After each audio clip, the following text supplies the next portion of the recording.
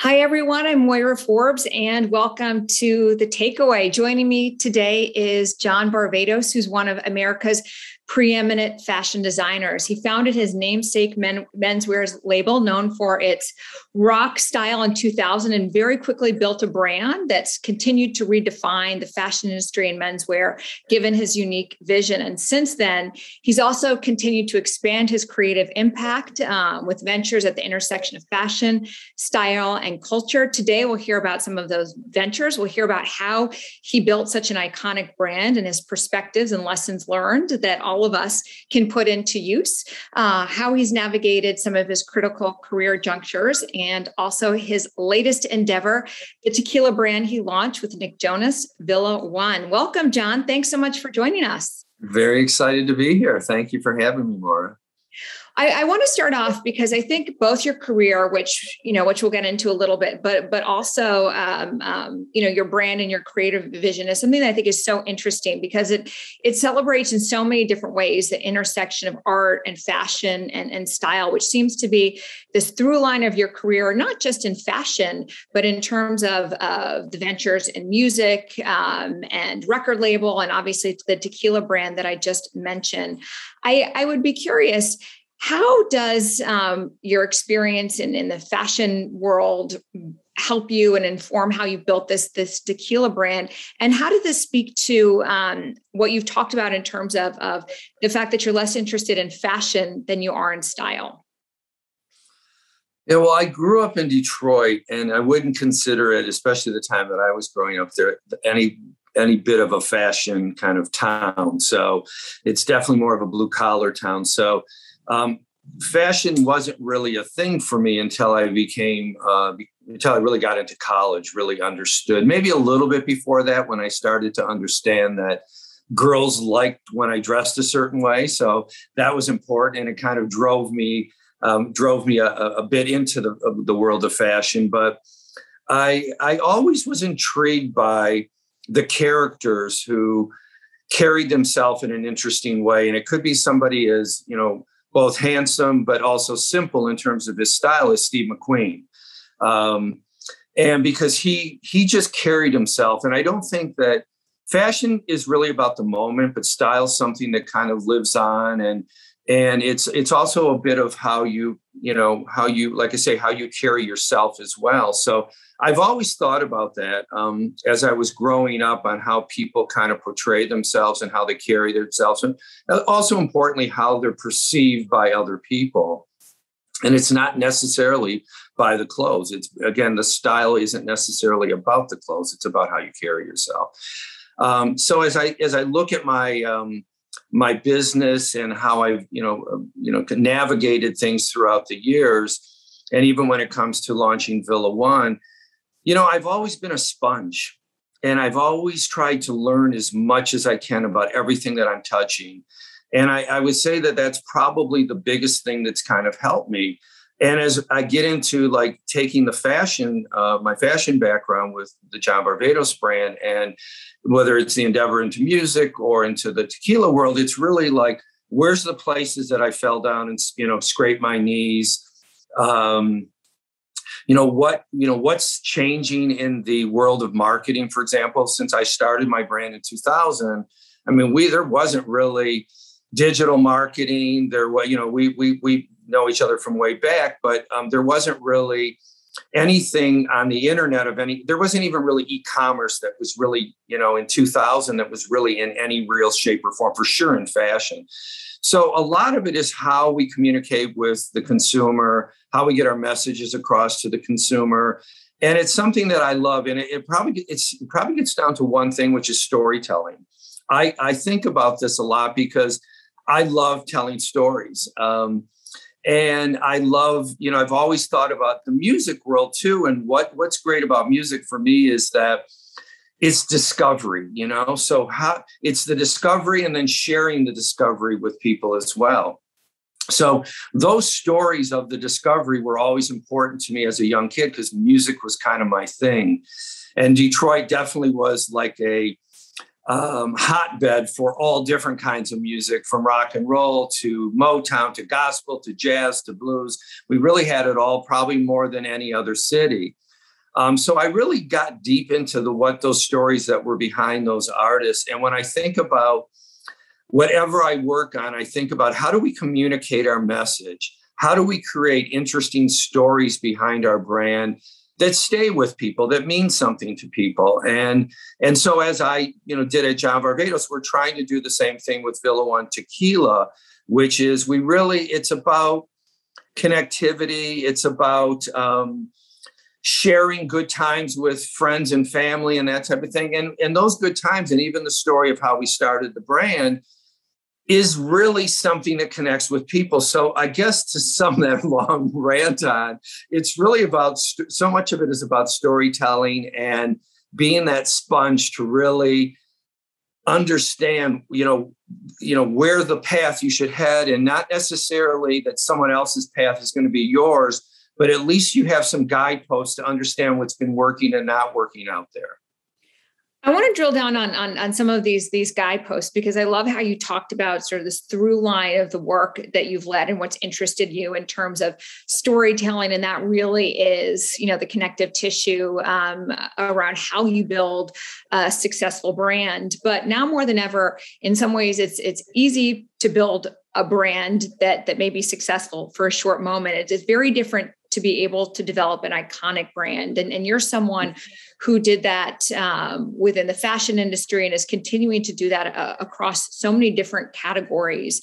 What were the rules, or were there certain an ethos um, that you always leaned into that allowed you to really build such strong brands or, or guideposts, as you will? Um, you mentioned um, in that arena. Yeah, I mean, I had I had good schooling on that, and it wasn't necessarily the university, although that that that had a part of it. But for those guideposts, I was lucky enough to spend a, a big part of my career at Ralph Lauren on two different stints, and and have a very large role there as head of men's design. I also was head of men's design at, at Calvin Klein as well, and those two brands were great storytellers very different, very different in the way they told their stories. You know, Ralph created the American Dream. Um, and I use him probably as the biggest guidepost because it really had nothing to do with my brand in a way. I, I kind of moved so far away from that. But what he did so well was stay true to who he was. He always had that bar. First of all, he always wanted to raise the bar. The bar was never high enough. So that c- continues to drive me to this day, is always to continue to drive, raise the bar. But it's also making sure that you stay true to yourself, that you're not chasing something that isn't necessarily part of your DNA or ethos, that you also have the thought process to expand your DNA, because just standing still in today's world isn't good enough either. Um, but I think that people buy, bought in at Ralph Lauren very much to that kind of fantasy and that dream and that lifestyle. Um, and I, from my in, in in my world, I wanted to find a place that people would buy into that as well. Um, mostly because they loved it, not because we were marketing it, but just because they had a connected, you know, connective uh, uh, piece to it. You know, something that really was that touched a part of their of their life or their history. Yeah, when people learn that, that you worked so long at, at Ralph Lauren and, and were such a transformative um, force within the company, um, you know, you mentioned that that your brand um, is a is a departure in many ways. Obviously, though, still connected on this this idea of um, of storytelling and having a clear vision. But I, I want to shift gears to talk about when you decided to strike out on your own, when you decided to, to launch your company. You know, you were at Ralph Lauren, you mentioned head of menswear. That's probably was considered one of the best jobs in the industry at, at the time in, in terms of the biggest brands in, in the world. Um, not many people will walk away from that type of job. Um, you've mentioned you had, you know, you had a young family at a time. You could easily have just sort of coasted um, in, in the fashion world. You were also 43 years old, um, which is interesting because so often we, when we talk about um, entrepreneurs or striking out on your own, you know, there's a myth of, of, of, of sort of that, that being a youthful endeavor. What were the pros and cons um, of this unconventional background at 43 versus, you know, let's say early 20s? And the fact that you didn't even start originally as a designer. Yeah, yeah. The pros, the pros were that I had all this experience under my belt at that point in time. I knew I knew the the mistakes that that I had made, that other people around me had made, that our brand had made at Ralph Lauren or Calvin, that type of thing. I knew the things that made most sense to me as a person and to me as a brand. They're not all the things that they do either, because not everything makes sense. Um, so, you know, those were the pros really that I, you know, starting out at 23 out of college or 25, you think you have an idea, and some people do, but it's a very small number of people that really have that idea and then are able to carry it for 20 years. Um, because they have that idea sometimes, but they can't continue it. It has a mo. It's a moment in time. It's not something that that's lasting. And I think having the background and also being that sponge that I talk about, um, and trying to be you know, a master of more than one thing. Um, and really, you know, sometimes you try to do it all and you're a master of none, but to try to really be a master of footwear and of leathers and tailoring and sportswear and all those different things um, were, were, important. Um, I think the, the, the challenges were that, um, you know, really, I probably, and some people would say my age, I never thought of my age at 43 being anything, but, you know, now's the time that's kind of how I looked at it. And I had an idea. Um, it was, you know, I guess it was at the end of 1999, and I had an idea as I was walking through Barney's, um, rest in peace there. And I was looking across the landscape of menswear at that time, and I thought, wow, you could just change the labels on a lot of these clothes, and people wouldn't know which brand is which because there was a lot of similarity. Everything was kind of black and nylony and it was it was they were kind of following the Prada sport kind of mentality. And I thought, what a time to do something different. And so that was when I, you know, I, I went to that happened on a Sunday. Um, and I could go on to the whole long story and how it happened. But within a few days, I sat down with with Ralph and told him that I um, Watt was going to leave. Well, five months later, I was still trying to convince him that that was the thing that I was going to do. But the thing that really was kind of the turning point in my head to really like move move move at that point in time was uh Ralph's office was right next to mine and I sat he sat down with him one day and he said okay I know what we're going to talk about here but I, I have one question for you do you really feel like you have something really new to say because if you don't truly believe that you have that you can do anything you want here you you know you're part of the family and you can ride, as you said, you can kind of ride into the sunset here and have a great living and a great life. And that was my time that I could have said, yeah, it's comfortable here. I love my family here, everything else. But I said, I really do think I have something new to say. And that's, you know, when I really set out from that point on something that that I, I read that you talked a lot about in, in terms of your success is you know obviously having this unique vision and, and point of view and, and, focus which is so critical. But you talk about um, the fact that it's one thing you know to have a dream and that's incredibly powerful but really that success comes down to execution. So if the ability to execute is is the difference you said between dreamers and, and, and doers what have you learned about focus and execution as your career has evolved? And, and what advice do you give to others in, in terms of how they should think about that, whether they're striking out on their own, but, but navigating these critical career junctures? Well, first of all, I'm still learning. I'm still trying to focus. Um, and that never ends. But I definitely know a lot more about that at this point in time. Um, and I do think that execution is everything because you know you have to be able to bring your dream to life.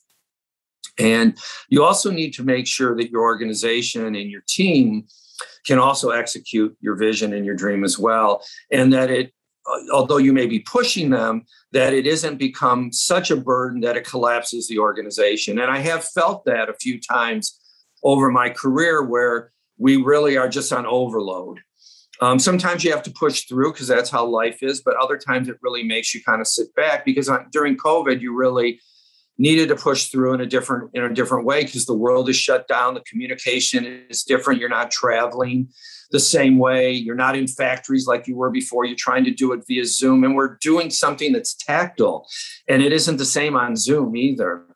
So um, but I, I, think it really is about um, clarity in terms of what you want to do. And um, we all, anybody who's a big dreamer loves to do as many things as you can do because you get excited about all these different ideas.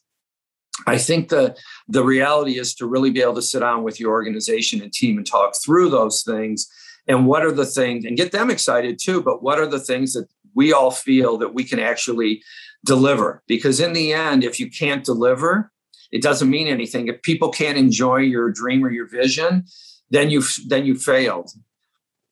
So obviously there's this you know you you really honed in on this you know both the the softer skills the creative skills in terms of of being able to create this brand identity and obviously also this relentless focus on on execution.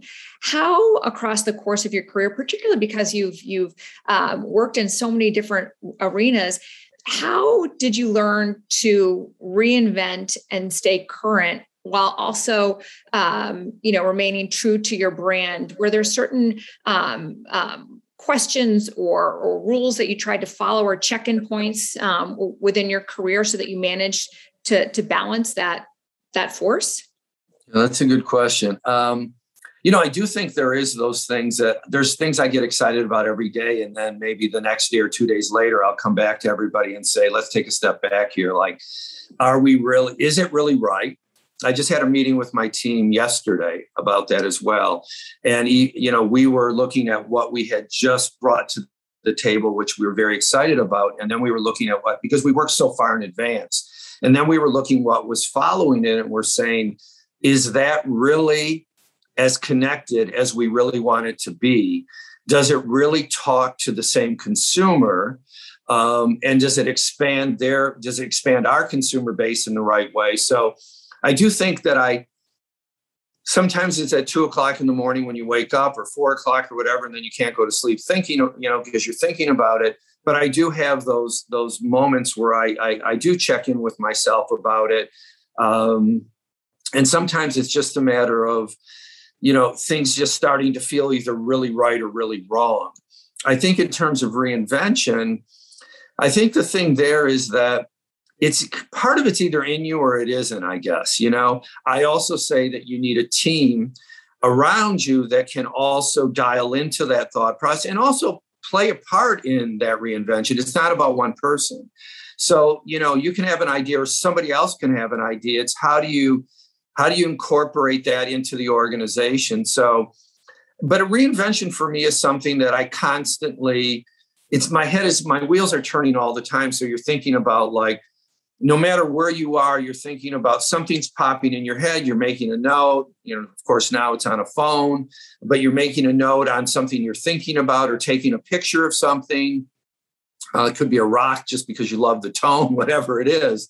But um, you're you're capturing something in the moment to to bring back to you later. I always have. I also have a board that I always have um, in my studio, which is just ideas that are kind of going through my head that may not mean anything to me at the moment or not mean enough to what we're doing at the moment or we can't get to it, but are things that we should always walk by that board and think about is this the time? Do they do we take them off because they really don't mean anything?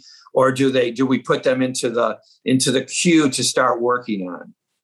I, I, love that because I think it goes back to what you've talked about in terms of being a sponge and and just remaining open and and you can see a spark of something in something even if you don't necessarily know where it'll lead or how you connect it. Um, you know, eventually it often does. But as you build and scale businesses, as you launch um, um, different ventures, there's always going to be incredible business pressures, right? I mean, COVID in the last year was a great example of it on, on all businesses, particularly retail. How have you learned to maintain creative focus when you're working amid those types of pressures but also you know the grind of it year after year after year. It's one thing to have a great collection um, or a great product but to to do that over and over again is very very different. You got to be excited first. If you're not excited about what you're doing then it becomes a grind. And there is still grinds within the within within even your excitement that you're doing because it's it's kind of relentless um, and I talk about relentless execution too, because again, if you're not relentless about the execution, it's not going to be what you want. But um, I, I, do think so much of it is is is you know probably in one word, which is really passion. And if you're really passionate about what you do, and it really means a lot to you, and it means a lot to other people and to your organization, um, and the consumer, hopefully. Um, you're you're kind of you know the, like i said that that hamster in your head is constantly spinning around on that wheel to the point of some time that it could be distracting in a meeting because you're thinking about something else. Um, or or you're not just you know you're not resting the way you need to do because that wheel's turning as well. But um, i think passion is passion for me i think is is what drives anybody who's creative anybody who you don't even have to be creative to be passionate because you can just be passionate about a you know something that you're involved with. It could be a philanthropic thing that you do and you're so passionate about it. I think it's that waking up and eating drinking breathing sleeping what you do and having that be um, something that also rubs off on a lot of other people. And I don't, I always say to my teams, you know, do what I say, not what I do. And I don't expect everybody to do it at the level or at the, the, the pace sometimes that I do. Um, but I do expect them, if they are passionate, to have those wheels turning at least within those work hours for sure. You've um, you know had this incredible career span before launching your own company as an entrepreneur. Now um, you know record label. You wrote a book, um, the tequila brand. All of these businesses have ups and downs and, and different life cycles. Um, as people are thinking about um, their own career cycles or, the challenges they're facing in their businesses um, or as entrepreneurs, are there one or two pieces of, uh, of advice um, that you've learned um, probably the, the hard way as we all have in terms of navigating those obstacles um, throughout your career? Yeah, sure. Don't be don't be afraid to ask questions for sure of other people, also within your team, but also outside of it for guidance. You know, I I, I mentor a number of students and and entrepreneurs over the years and continue to, and I always say to them like, you know, any questions that you I might not be able to answer half of them, but any questions that you have, you should be asking because I think when you think you know it or you you're on the fence of something, you have to take stock of what, you know, the reality sometimes are with other people's successes or failures. And then you can make the decision whether you know it's the right thing for you or not because just like leaving ralph lauren for me it was the right thing to do. Uh, you know i never look back. I love ralph. I, he's been a close friend but I never looked back from that. It was, you know, because I, I, was very clear on what I wanted to do, and I think that that's for me is, you know, that it, the focus thing, the, you know, um, and just you know, I, I said it. The first thing I said was being a sponge. I really feel like even during this period in the last year and a half, with the, the world crazier than ever. I've done more reading, more research on what's going on in all aspects, not the creative aspect necessarily, but what's happening digitally in our world, what's happening socially in our world. And I'm not just talking what, um, you know, I'm talking socially, meaning, you know, communication, that type of thing. Um, and what's changed in our world of marketing and the manufacturing and the um, sourcing and the shipments and everything's changed because nothing as is as it was. And I guess I always want everybody to think, including myself, and I have to wake myself up about it sometime. Just because it was that way last season doesn't mean it's going to be that way. Now, for a long time, at least in the fashion industry, there weren't that many changes. It just seemed to be this very um, slow paced, especially American fashion. Doesn't mean there was anything wrong with it, but it, it kind of grew slowly. And then with fast fashion, fashion growing on the West Coast, East Coast, global fashion with communication being instantaneous with the internet. Um, everything changed at that point in time, and everything moves at a significantly different pace. And you got to be ready for that, um, or you will be you will be left in the dust, and your brand won't be what it was before. As we begin to to wrap up, I, I want um, to ask a, a question about um, obviously the influence of rock music across your career. You know, you said it's been part of your DNA since you were you were a child, um, and you've described that for you, rock has always been about rebels. That it's not always necessarily a music thing; it's more about the spirit of it. Um, for you, what does it mean to be a rebel within the business world? You know, I'm thinking outside the box, uh, being a leader, not a follower. I mean, our industry's full of follow. Oh, most industries are full of followers, and some of the followers are super successful and they do it extremely well. But for me, that rebel part that I like to follow is to be that leader, to be out of the box, um, to be pushing the walls out constantly. And I do think of rock and roll as not necessarily music. I think about it as the the rebels of our time, and I, I, think of Steve Jobs as a real rock star, for example. When I think of someone who really changed the world in terms of the way we communicate, think, um, all of those things. And so there's many, and and a lot of the rock stars today, musically, are definitely changed from when I was growing up when it was male dominated. Today it's the female, and it, I'm not saying rock is it could be pop music, whatever, but it's a female dominated world today, which is really exciting. Um, so I think it's you know it's about pushing the walls out and and not being afraid to try new things. Yes, speaking of that, not not being afraid to try new things, you obviously you know launched this tequila company. You had done a lot in the music industry, a lot in the fashion industry. Um, what inspired you to go into to this new category, and and what have you learned about yourself, and and what have you learned about again um, this continual learning around building a brand and finding those collaborators to do it with you? Well, it, it happened. It happened very organically with a young friend of mine, Nick Jonas, and Nick and I, uh, you know, met. I don't know now, seven years ago at a dinner, and instantly became fast friends. And it, you know, we started spending time together and picking each other's brains about different things. We shared a lot of kind of even though we grew up at different times we shared a lot of uh, similarities in, in our family life um, I wasn't a pop star, so we didn't share that similarity. But um, we um, we we started to spend time together, and he spent time in my studio. And one day we talked about doing a fashion collaboration, which because he loves fashion, and we did do it, and it was extremely successful. And during that period of developing that product, we he would come into the studio and he'd always be spraying my different fragrances on himself. And I said, you know, you love fragrance because I don't know anybody who comes in here and does that as much. And he goes, yeah, I want, I, I definitely am crazy about fragrances. And I said, we should do a fragrance. And we, we did three of them and we're unbelievably successful. Two won fragrance of the year. Amongst a huge category. And we just knew that we had something together unusual in that our ages are different, our demographics are somewhat different, but we also know that our demos together are very potent because they're very broad. And um, Nick and I got to know each other over drinking tequila.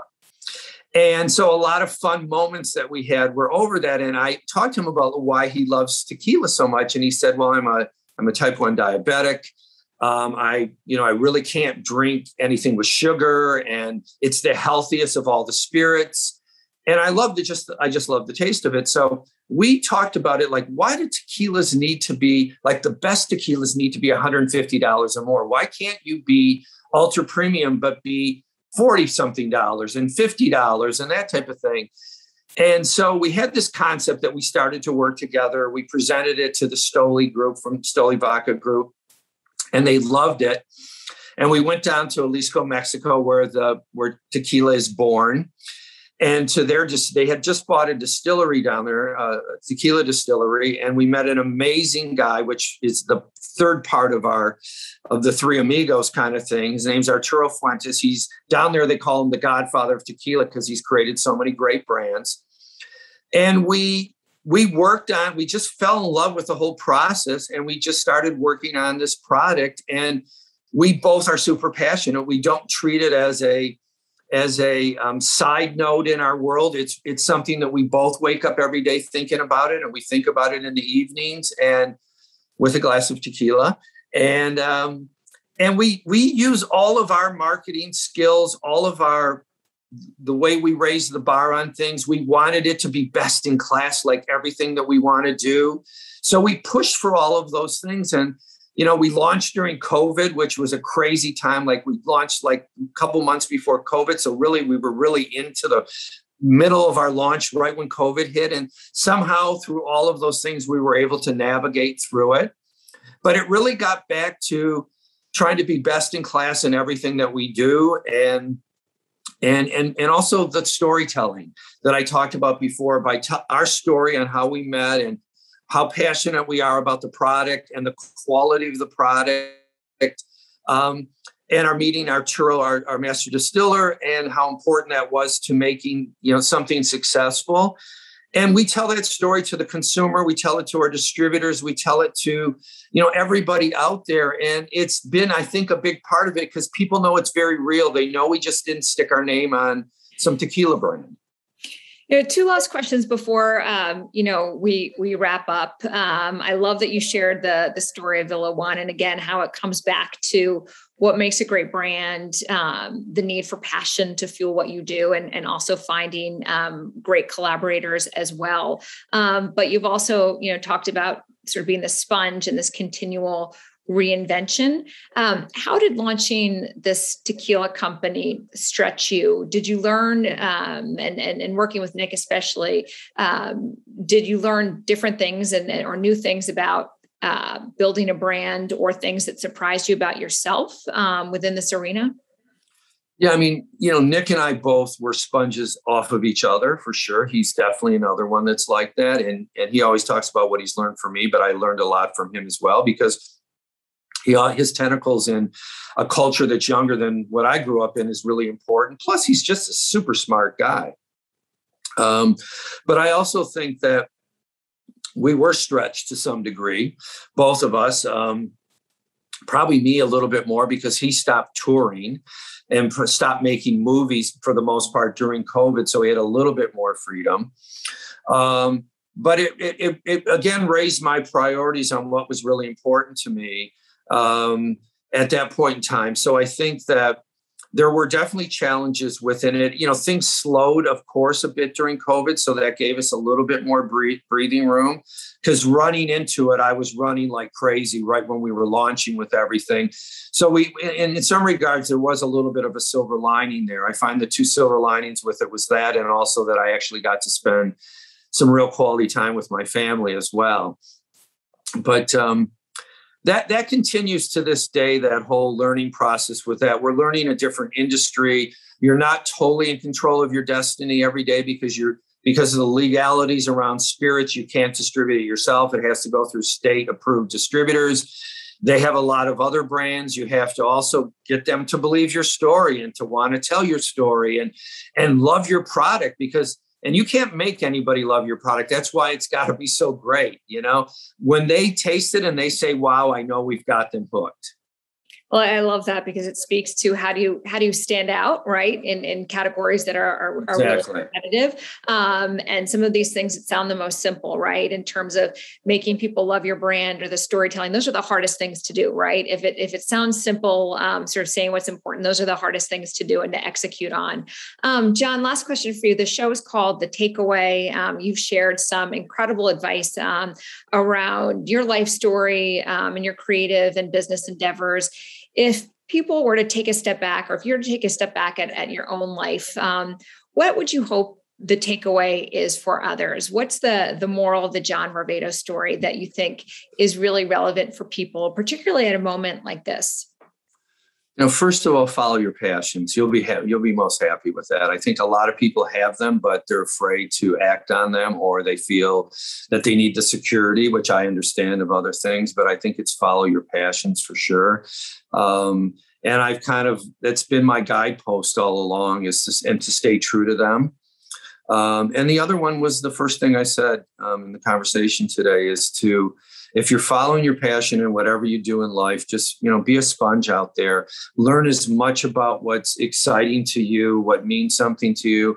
It could be as simple as being a pa- great parent but um, but in a in your career it, it, definitely is important. There's so many people that have other have forged um, great careers great brands and there's things to glean from them. They may not all be right for you, and only just one or two little tidbits could change everything. And I look for those little tidbits that make the meal in the end, you know? I love that. Well, well, John, thank you for sharing some of your your tidbits with us. Um, you know, I always say you can't you can't hit hit fast forward on life experiences, but but hopefully you can you know learn learn from other people's. And so um, you've given some great insight, great advice, um, and uh, can, congratulations on your continued success. I see the the bottles of Villa One over your shoulder. Um, yeah so um, um, you know cheers cheers to um, all that's ahead and thanks so much for for joining us. Thanks so much for having me. It's been great talking with you. Thank you john and thanks to everyone and we look forward to seeing you back here again next week